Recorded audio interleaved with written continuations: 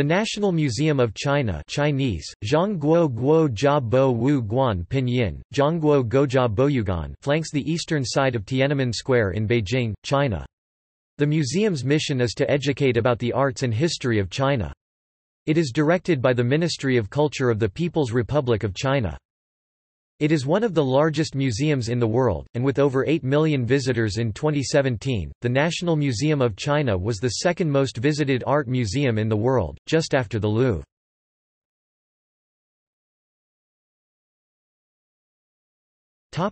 History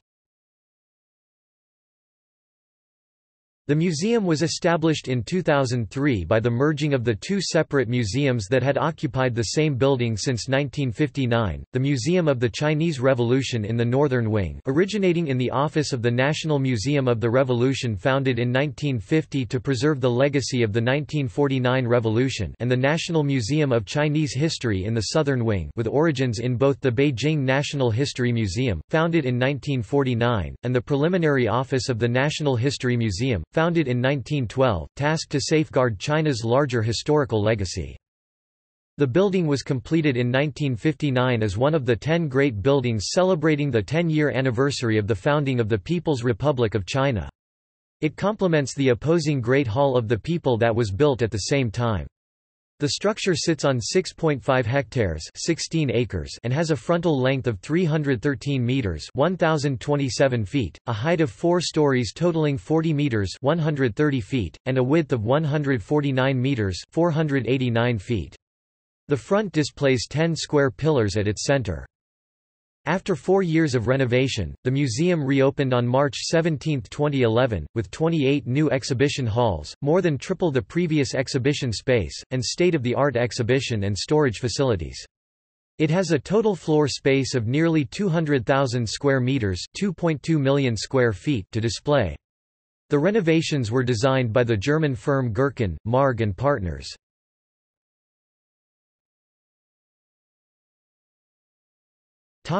Collections The museum, covering Chinese history from the Yuanmou Man of 1.7 million years ago to the end of the Qing dynasty the last imperial dynasty in Chinese history, has a permanent collection of 1,050,000 items, with many precious and rare artifacts not to be found in museums anywhere else in China or the rest of the world. Among the most important items in the National Museum of China are the Simuwu Ding from the Shang dynasty the heaviest piece of ancient bronzeware in the world, at 832.84 kilograms, the square-shaped Shang dynasty bronze zun decorated with four sheep heads, a large and rare inscribed Western Zhou dynasty bronze water pan, a gold-inlaid Qin dynasty bronze tally in the shape of a tiger, Han dynasty jade burial suits sewn with gold thread, and a comprehensive collection of Tang dynasty tri-colored glazed sancai and Song dynasty ceramics. The museum also has an important numismatic collection, including 15,000 coins donated by Luo Bojiao. The museum has a permanent exhibition called The Road to Rejuvenation, which details the glorious course of achieving national prosperity and fully reveals how the people chose Marxism, the Communist Party of China, socialism, and the reform policy.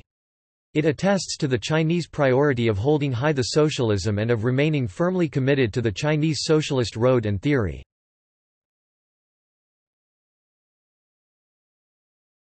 Topic. Gallery.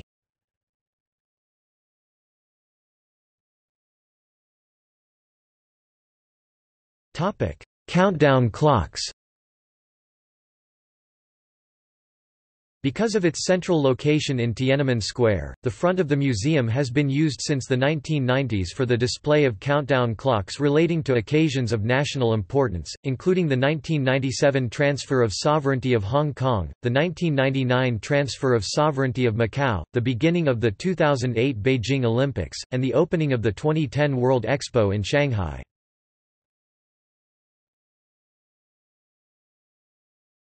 Topic Controversies A three-month exhibition of the luxury brand Louis Vuitton in 2011 led to some complaints of commercialism at the museum, with Peking University professor Xia Xueluan stating that as a state-level public museum, it should in fact only be dedicating itself to non-profit cultural promotion. However Yves Carcelle, chairman and chief executive officer of Louis Vuitton Malletier defended the exhibition by stating, "...what's important is what you are going to discover. I think before money, there's history, 157 years of creativity and craftsmanship." Some critics have also alleged the museum's modern historiography tends to focus on the triumphs of the Communist Party, while minimizing or ignoring politically sensitive subjects such as the Great Leap Forward and the Cultural Revolution.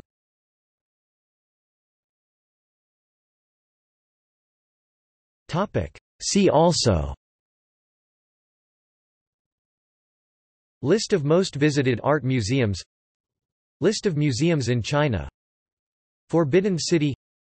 National Palace Museum. State Administration of Cultural Heritage. Ministry of Culture.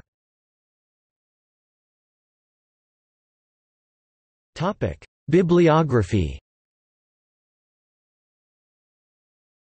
Kirk A. Denton, Exhibiting the Past, Historical Memory and the Politics of Museums in Post-Socialist China University of Hawaii Press, 2014, pp. 33–39, 45–74.